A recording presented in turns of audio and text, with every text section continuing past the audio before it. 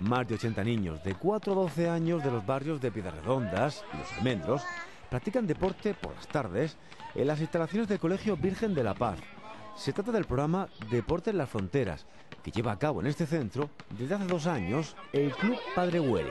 Existen muchas fronteras, además de las que todos los días vemos en la televisión, por desgracia. En la ciudad existen fronteras y ¿por qué no llevar el deporte como valor y como misión también, de alguna manera, como hacía Carlos Welly, nuestro querido padre Welly, a la frontera de la ciudad donde también es necesario. Con un objetivo único que es abrir las puertas a los ciudadanos y a los vecinos eh, del barrio para que practiquen el deporte como medio de cohesión social.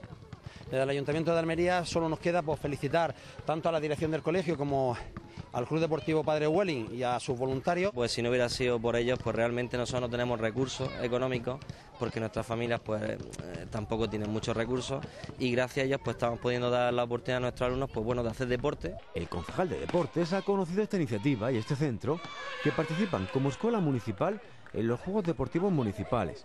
Deporte en las Fronteras, en esta barriada, aspira a ampliar su oferta. Queremos hacer una escuela municipal de ajedrez porque sabemos que el ajedrez ayuda mucho tanto en el espacio vectorial como el cálculo, como el tema de las matemáticas, el ayuda y el fracaso escolar, que en estos barrios pues es complicado, vamos a decir que es complicado, pues queremos también ayudar un poco a que a ver si a través de ese juego, hacerlo amigable, pues podamos ayudar al colegio. Los pequeños y pequeñas de los almendros y piedras redondas y sus familias han comprobado como el deporte derriba fronteras Además, ellos y ellas son las estrellas del mundo deportivo por un día.